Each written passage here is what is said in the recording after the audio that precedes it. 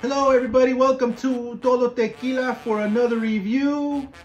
I am Edgar, aka Steady Eddie. I'm gonna talk a little bit about Tequila Fortaleza. If you're a tequila fan and you sip tequila, you know about Tequila Fortaleza. If uh, you have some friends that love tequila, you've probably been told about Tequila Fortaleza. It is a delight. It is many, go, many people's go-to tequila. And if you're new to tequila and you've been drinking and you're wondering, hey, I'm not sure I'm getting that agave. What is that agave flavor I'm supposed to taste? Find Tequila Fortaleza and you're going to taste that. It's agave forward. You get that great cooked agave throughout and long, clean finish. Um, and you're gonna you're gonna you're gonna get that agave flavor. It was founded in 2005 by Guillermo Sauza, uh, fifth generation uh, tequila producer, uh, founded in 2005, but was no rookie. His uh, great great great grandfather was Cenobio Don Cenobio Sauza, uh, one of the first pioneers of uh, tequila, the first to export tequila to the US and internationally. So definitely no, no rookie here. His family's been making great tequila for a long, long time. And one of the things he said to bring bring with Fortaleza is that um, traditional methods were were getting were be, becoming abandoned. People weren't using uh, processes uh, and, uh, and, methods like the tahona. I remember not even knowing what is a tahona, and many distilleries uh, had abandoned that. Now they've brought it back. Almost every family-owned uh, tequila that's making small batch tequila is uh, using the Tahona and even some of the bigger brands are now implementing the Tahona as well. So um, Fortaleza is your quintessential small batch tequila. Not like some claim to be small batch, yet they're on every store shelf in every bar all year round. There's always a supply.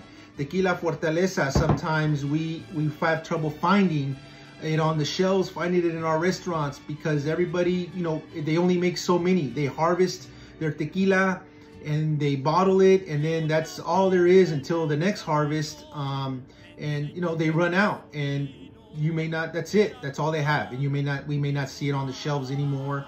In the restaurants, there you have to wait and everybody wants, know, is waiting for Fortaleza. Yet it's, um, he's been able to keep it uh, reasonably priced. What are the methods that we have learned that is the traditional process? Well, uh, uh, it, the agave plant is allowed to mature. That usually takes six to eight years, sometimes longer, depending on the sugar content and what gives that gives it that complexity and natural tequila flavor. The other brands, um, two and a half, three years maybe, and they're allowed to uh, use uh, coloring and flavoring. This is additive free. Fortaleza is absolutely additive free. They're not going to be swayed. They're, uh, Guillermo Sauza is going to do his best to keep uh, using the traditional methods. Um, so after the harvest, uh, the agave is cooked in uh, brick ovens 30 plus hours and then allowed to cool approximately 20 hours. This is a lot of time and you know time is money. But uh, this is how the Fortaleza and small family artisanal distilleries are making their tequila. After that, it is crushed with the Tahona lava, molten lava uh, wheel. It's over two tons that's used to macerate and crush the juice out of the agave plant. And then they ferment the, the tequila. And one of the things I think that stands out with Tequila Fortaleza is that he uses uh, wooden vats uh, wooden vats where the tequila where the tequila juice is fermented and sometimes allowed to rest there from weeks to months in the wooden vats. I think one of the things that uh, brings out uh, with that is uh, the buttery. There's a buttery flavor, aroma, and texture that's really, really nice and stands out. And of course, tequila has to be double distilled.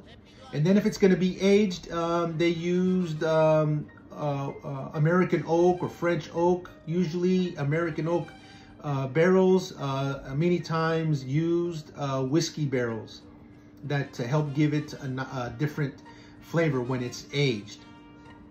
And that's it. That's the pretty much uh, in a nutshell the traditional process. That's what you did here with Tequila Fortaleza. So again, then, you know, ah, oh, it's just a delight, everybody. You get that citrus, that agave sweet cooked agave flavor throughout. That butteriness, like I said, aroma and flavor, texture. Some earthiness, anise. And there's some minerality here, which makes it a nice, refreshing Blanco. Go ahead, try to help find yourself some Fortaleza and enjoy. Thanks for watching. Stay tuned for another review, everybody. Thanks for watching Todo Tequila. Salud. Vamos a darle. Avanzamos. Gracias. Avanzamos.